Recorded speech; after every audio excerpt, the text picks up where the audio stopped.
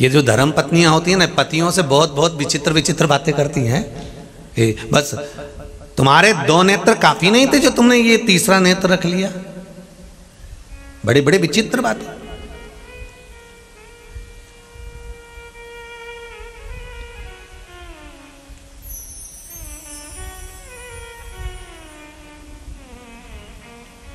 पूछने के लिए होता है एक एक पत्नी ने पति से पूछ लिया क्यों जी ईमानदारी से बताना? तुम शादी के पहले ज़्यादा खुश थे कि अब ज़्यादा खुश हो? अब ये तो पूछने वाली को पूछना ही नहीं था।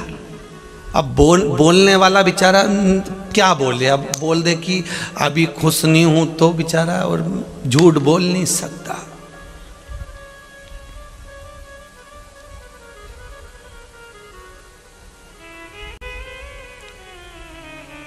प्रश्न करने वाला कुछ भी प्रश्न कर लेता, उसको, उसका तो मन होना चाहिए।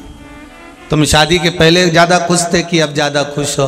पति बेचारा मौन हो गया, उसने कहा अटैची ला दे, मैं जाऊँ थोड़ा ऑफ़िस में, आज जरा जल्दी काम है। तुम मेरा उत्तर नहीं दोगे?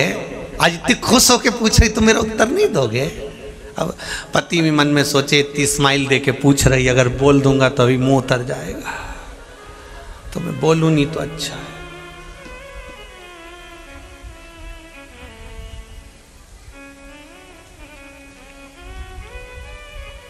पति ने अटैची पकड़ी, जाने लगा। पत्नी फिर बोली, सुनो तो उत्तर तो देके जाओ कि तुम शादी के पहले खुश थे, ज़्यादा कि शादी के बाद।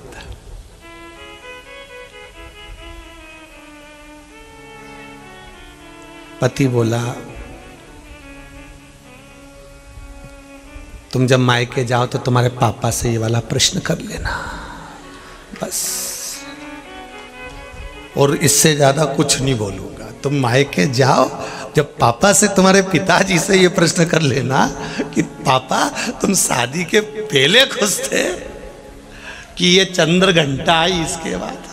तो पिताजी से पूछ तुम पूछो ये बात।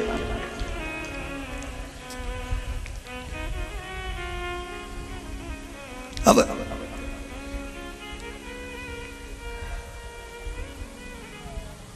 कहा